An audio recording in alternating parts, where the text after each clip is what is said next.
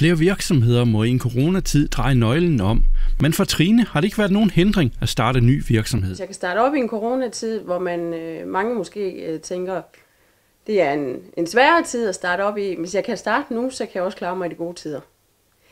Øh, hvis man ser øh, generelt på håndværkerbranchen i hvert fald, så har de jo virkelig run på.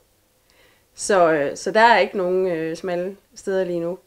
Øh, så de har jo stadigvæk øh, rigtig øh, stor brug for, for, for vores hjælp.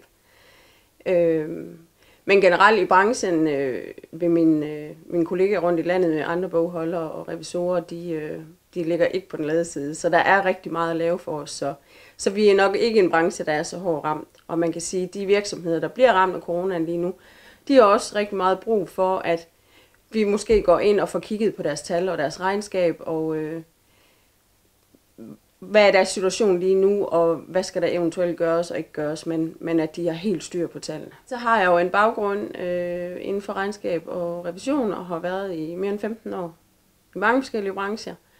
Og det er øh, både lige fra det kommunale til øh, foreningsarbejde, øh, almindelige håndværksvirksomheder, øh, men, men en rigtig bred erfaring har jeg med mig.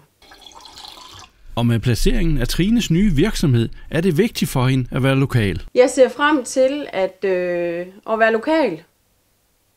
Og være, øh, være et sted, øh, være et kontor, hvor øh, den lille håndværker og øh, den måske lidt større virksomhed, de kan komme ind, og de kan... Øh, de skal ikke være bange for, at de kan komme ind i sikkerhedsskoen og have arbejdsjakken på. Og, altså, vi er, vi er helt nede på jorden. Øh, så jeg ser frem til at få et bredere kendskab til erhvervslivet øh, i Fredericia og Tavlov og hele oplandet. Øh, og kunne give dem en, en høj service med, med kvalitet i arbejdet. Så de føler sig tryg, og jeg ser også tit øh, mange selvstændige, de har ikke interessen for økonomi og tal, og de synes, det er bøvlet og det er besværligt.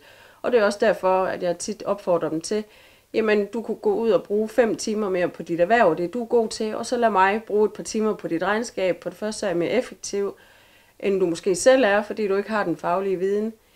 Øh, men jeg sikrer også, at du får de fradrag, og øh, du får de ting, du er berettiget til, og du ikke snyder dig selv. Trine har da også netop været ude og besigtige nye egnede lokaler til sin virksomhed. Jeg er lige netop her til morgen været ude og se øh, på to forskellige lokaler, og det var faktisk rigtig, rigtig positivt. Øh, så det er jeg ikke så bekymret for. Øh, jeg tænker, vi skal nok øh, nå i mål med et lokale snart. Øh, det har været et alternativ, for der er jo ikke så mange øh, lokaler, der sådan er øh, lige øh, målgruppen for min virksomhed, men, øh, men jeg er sikker på, at det nok skal lykkes, og vi får en god øh, placering her i byen.